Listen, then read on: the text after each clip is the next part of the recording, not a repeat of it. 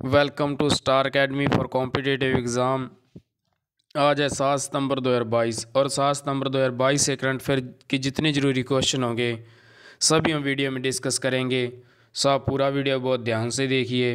अगर आप इस वीडियो की पीडीएफ चाहिए तो आप हमारे Telegram channel Star Academy for competitive exam search करके वहाँ से पीडीएफ डाउनलोड कर सकते हैं। सो ये शुरू करते हैं first question Covid vaccine B B एक सौ चौवन को इस्तेमाल करने की मंजूरी मिली, जिसे किस कंपनी ने बनाया? तो जिसे किस कंपनी ने बनाया? तो भारत बायोटेक ने। अगर बात करें बी बी वी यानी कि भारत बायोटेक वैक्सीन तो इसका हेडक्वार्टर तो हैदराबाद में। ये कौन सी दवा है? तो ये एक इंटरनोजल वैक्सीन है। इंटरनोजल यानी कि जिसे नाक के द्वारा दिया जाएगा।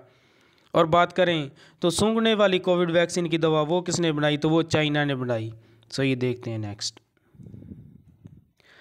भारत में पहला बायो विलेज डिज़ाइन किया गया। वो कौन सा है?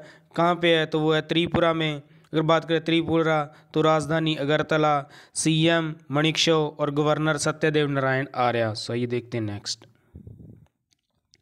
किस भारतीय क्रिकेटर ने सभी प्रारूप से संन्यास लेने की घोषणा की है? तो वह सुरेश रैना। जी हाँ सुरेश रैना।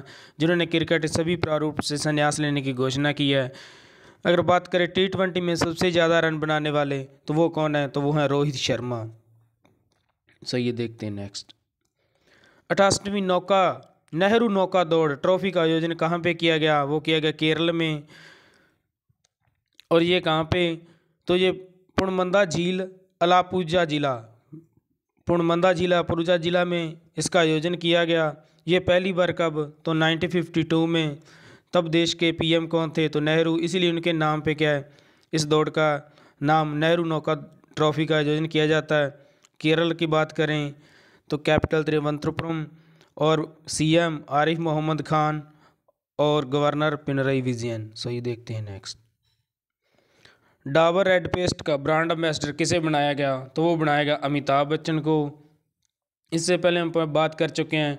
कल ही हमने डिस्कस किया था कि पुण्य कोटू दत्तू योजना उसका ब्रांड बेस्टर किसे तो सुदीप किच्चा को और टायल रिटेल के परफॉर्मेंस के लिए ब्रांड बेस्टर जसप्रीत बुमराह को और उत्तराखंड के ब्रांड बेस्टर तो ऋषभ पंत को। सही देखते हैं नेक्स्ट कनाडा में भारत का नया उच्चायुक्त किसे नियुक्त किया गया? तो किया गया संजय कुमार को। जी हाँ, संजय कुमार जिसके कनाडा में भारत का उच्चायुक्त नियुक्त किया गया।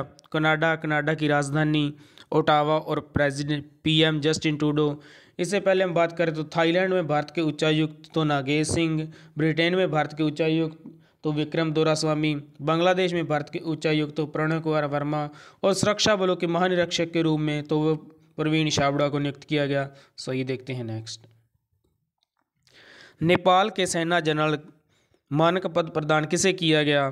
तो नेपाल के सेना जनरल का मानक पद प्रदान किया गया मनोज पांडे को। यानी कि सेना जनरल मानक पद की उपाधि किन्हें दी गई? तो वो मनोज पांडे को। तो किन्होंने दी?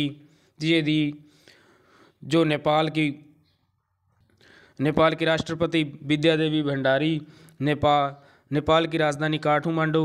और अब बात करें सार्क का हेडक्वार्टर कहाँ पे है तो वो भी क्या है? काठमांडू में। सो ये देखते हैं नेक्स्ट हर घर आरओ वाला, जल वाला पहला गाँव उत्तर प्रदेश का कौन सा गाँव बना है? वो बना है भरतौल जिला। अगर बात करें उत्तर प्रदेश की तो कैपिटल लखनऊ। और लखनऊ से हमने कल ही डिस्कस किया था कि एनसीआर की तर्ज पे नेशनल कैपिटल रीजन की तर्ज पे क्या होगा? स्टेट कैपिटल रीजन भी डेवलप किया जाएगा।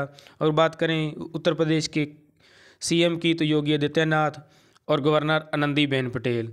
और एंटी नारकोटिक फोर्स का गठन भी कहाँ पे किया गया? तो वो कहाँ कहाँ पे किया गया? उत्तर प्रदेश में। और पंचामृत योजना कहाँ शुरू की गई? वो भी कहाँ की गई? उत्तर प्रदेश में। सो ये देखते हैं नेक्स्ट सबल, स्वस्थ भारत, सबल भारत सम्मेलन का उद्घाटन किन्होंने किया? तो मनसुख मंडाविया ने। यह मनसुख मंडाविया जिन्होंने क्या है? सबल, स्वस्थ सबल भारत सम्मेलन का उद्घाटन किया। ये किसके लिए? तो अंगदान को प्रोत्साहन देने के लिए क्या ये सम्मेलन का उद्घाटन किया गया। सो ये देखते हैं नेक्स्ट ग्रामीण पिछवाड़े सुअर योजना कहाँ शुरू की गई? तो ये की गई मेघालय में।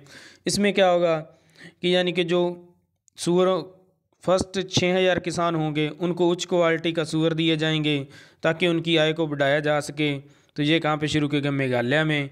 कैपिटल शिलोंग, मेघालय की स्थापना 21 जनवरी 1972 को की गई। बात करें सीएम कॉनरोड संगमा और गवर्नर सत्यपाल मलिक।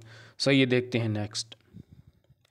किस राज्य में तीन नए ज़िले बनाए गए? तो वो बनाए गए छत्तीसगढ़ में। छत्तीसगढ़ में पहले कितने? अट्ठाईस ज़िले थे। तो अब तीन नए ज़िले ऐड करके अब कितने? कुल तो इकतीस ज़िले हैं। और छत्तीसगढ़ की राजधानी रायपुर और सीएम भूपेश बघेल और गवर्नर अनुसुईया। सो ये देखते हैं नेक्स्ट दुबई ओपन शतरंज टूर्नामेंट किसने जीता? तो अरविंद चिदम्बरम ये अरविंद चिदम्बरम जिसने कहा दुबई में ओपन शतरंज टूर्नामेंट को जीत लिया है। सो ये थी हमारी आज की करंट अफेयर अगर आपको वीडियो में किसी प्रकार का कोई डाउट है तो आप कमेंट करके पूछ सकते हैं। आप अगर आपको वीडियो अच्छा लगा हेल्पफुल लगा तो लाइक कर दें। अगर आप चैनल पर नए हैं तो सब्सक्राइब कर लें ताकि आने वाले करंट अफेयर की जानकारी आपको मिल सके और बेल आइकन दबा दें। सो so, ये थी हमारी आज की करंट अफेयर अगर आप, आप इस वीडियो की पीडीएफ डाउनलोड करना चाहते हैं तो हमारा Telegram channel Star Academy for competitive exam search करके टेलीग्राम पे तो हमारा चैनल पे वहाँ पे पीडीएफ डाउनलोड कर सकते हैं। सो ये थी आज की current affairs thanks for watching.